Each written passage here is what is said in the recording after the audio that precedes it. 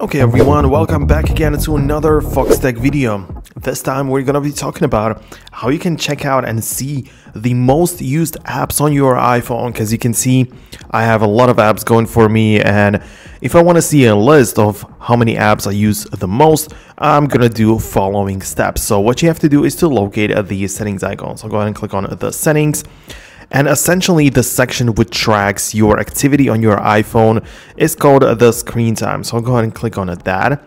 And it depends because if you have never been here before, chances are that you're going to have to go through the steps and set it up.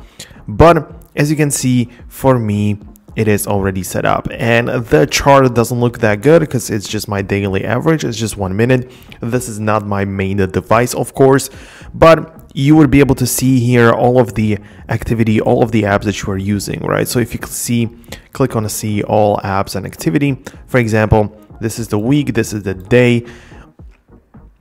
You can also if you scroll down a little bit to the bottom you can also go to the previous week let's say and you're going to be able to check out all of the apps. So for example i go to this week from the February 18th to 25th. And here is the average time of one hour and one minute per day. And you can see that I've been, I've spent this week uh, 10 minutes in settings, 9 minutes in App Store, 80 minutes on TikTok, 80 minutes on Etsy, and you can see the entire list of all of the most used apps within that specific time window. So this is especially useful. Of course, if you click on the day at the top, scroll down a bit more, you can go day by day. So this is, for example, yesterday, March 4th, the screen time was 1 hour and 31 minutes.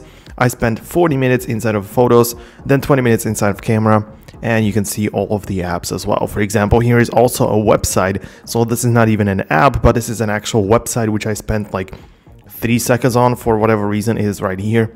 So yeah, this is essentially how it works.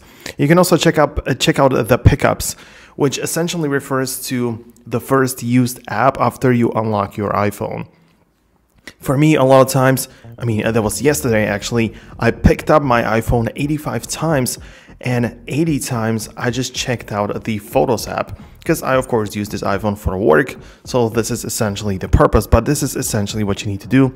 You can also check out the notifications and stuff like that so yeah it really is up to you but this is how you can check out the most used apps within a specific time windows. Hope you found this video useful. If you did make sure to hit the thumbs up, subscribe below, and also you can check out the Foxtecc school platform, which is for free right now. But um, yeah, we'll see how long it's gonna be. Let's see what's gonna turn turn out to be. So go ahead and join right now, and I'll catch you in the next video. Peace out until then.